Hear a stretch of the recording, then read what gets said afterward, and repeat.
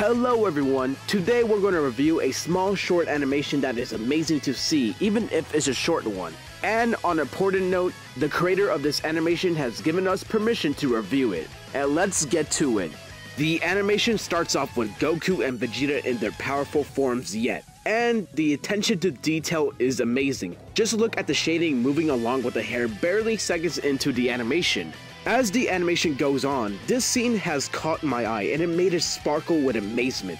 And it's the scene where Goku and Vegeta are back to back. The Saiyans circling around as Goku puts his left hand on his face and transitions his right onto his face again, having both of his hands on Vegeta's face and easily picks him up with his bare hands and slamming him to the ground.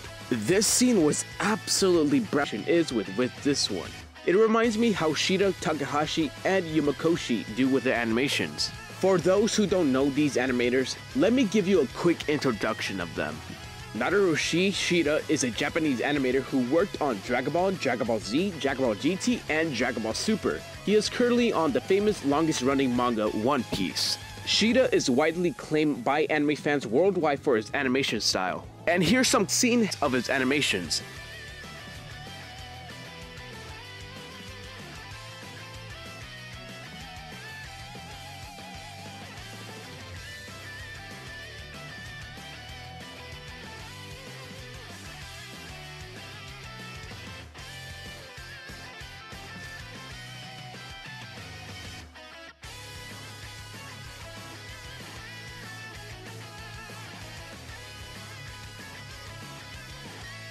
Yuya Takahashi is a freelance animator who made his debut as a animator supervisor starting with episode 114 of Dragon Ball Super. His work has a sharp angular style that ignores most parts of the Dragon Ball Super character model sheets and heavily mirrors Studio Cockpit's and Tadayoshi Yamamoto's work from the Buu saga of Dragon Ball Z.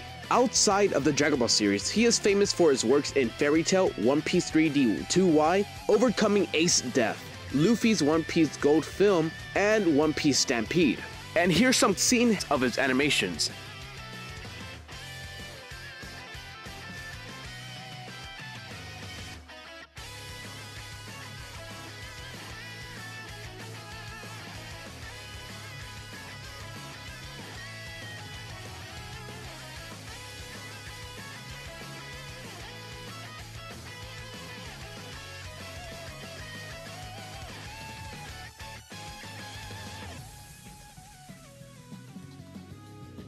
Yoshihiko Yamakoshi is a Japanese animator and character designer.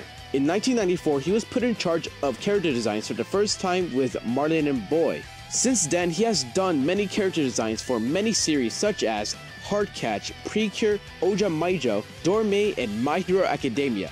He also had an appearance in the Dragon Ball Super Broly film, and it was most hype scene ever in the movie.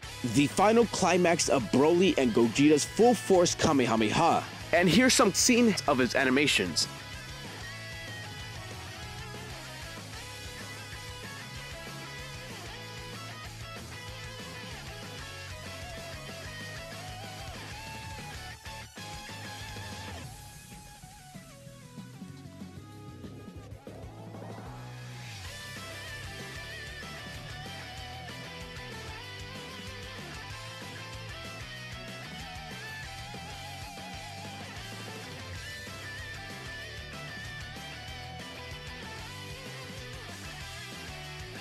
And that's all for our video for today. And if you don't want to miss anything out, please like, subscribe, and turn on notifications for more videos. And I'm your host, Vro.